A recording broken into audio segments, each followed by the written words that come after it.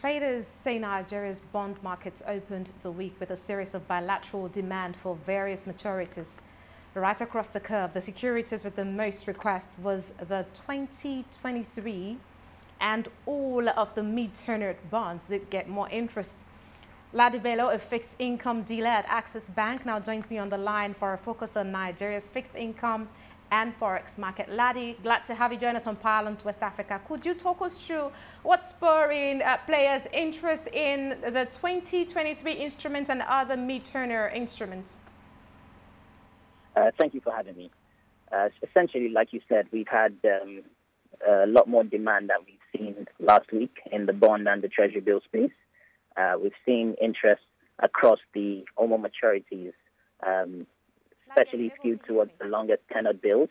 Uh, and this also filtered into the bond market where we have activity uh, skewed towards the short to mid tenor bonds. So we've seen a rally from the 2023 um, all the way down to the 2029 uh, bonds week on week trend downwards by an average of 40 basis points. Um, this isn't um, this isn't new.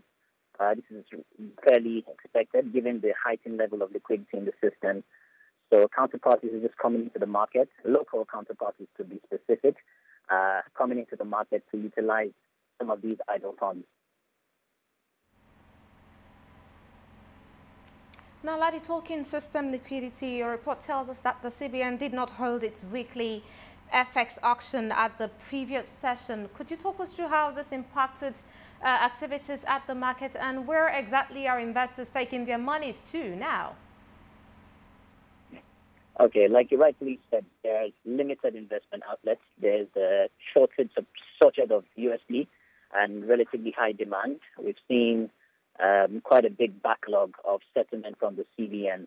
Uh, I&E turnover on average is um, about 46 um, million dollars for this week. Last week average was a lot higher at about 225 uh, million dollars. Like you said as well, the CBN has not intervened in the wholesale market for the past two weeks. Um, the intervention is at the sole discretion of the CBN. Uh, so when they feel the need to do so, they will definitely come into the market.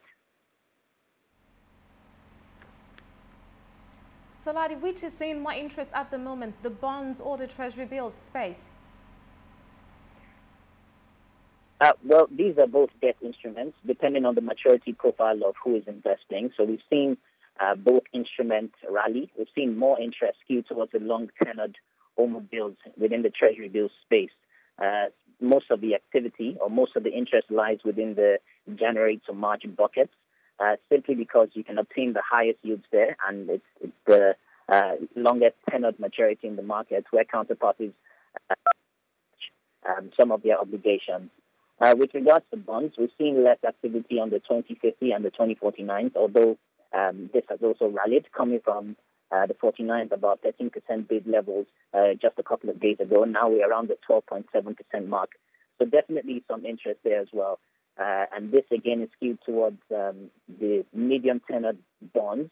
Um, this is highly as a result of the uh, buoyant liquidity levels in the system, as well as the lack of supply on both the OMO and bond papers uh, in the markets. We also have um, some coupons coming in uh, on select maturity to 2023, um, the 2029 bonds as well. So we expect the system to be um, awash with liquidity for a while.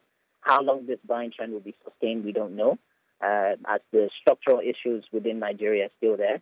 Um, so as we continue to look for alternative, alternative sources of debt within the country, uh, we'll see how this plays out. But for now, uh, we have an OMO maturity as well tomorrow about 131 billion um, naira. Uh, for the month of April, it's about 625 billion, and for the second quarter of the year, it's about 1.1 um, trillion. So uh, there will be a bit of liquidity in the system. Um, whether or not the CBN will come up and mop up this liquidity, uh, again, is at their discretion. But again, um, some market participants see this as a bit of an overreaction, as uh, there's no market fundamentals supporting this bullish uh, sentiment in the market at this point. Fingers crossed on that one. Ladi, many thanks to you for your time. Ladi Belo is a fixed income dealer at Access Bank.